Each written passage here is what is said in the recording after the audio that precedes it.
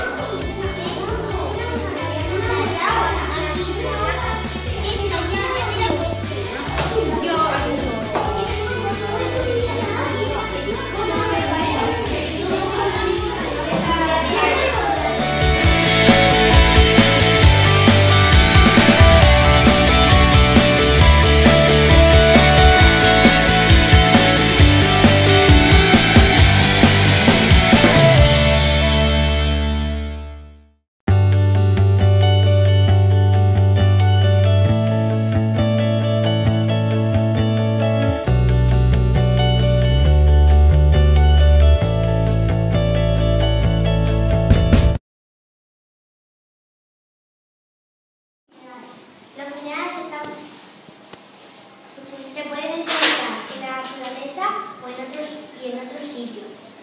Los minerales están formados por un solo componente. Por un solo componente. que es difícil rayarlos. como el diamante es el más duro y otros como el yeso es, se, se puede rayar.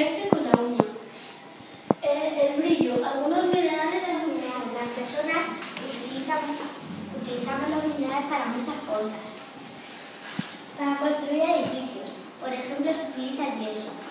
Para extraer metales, se utiliza, por ejemplo, la, la, magnetita. Para elaborar joyas, se utiliza, se utiliza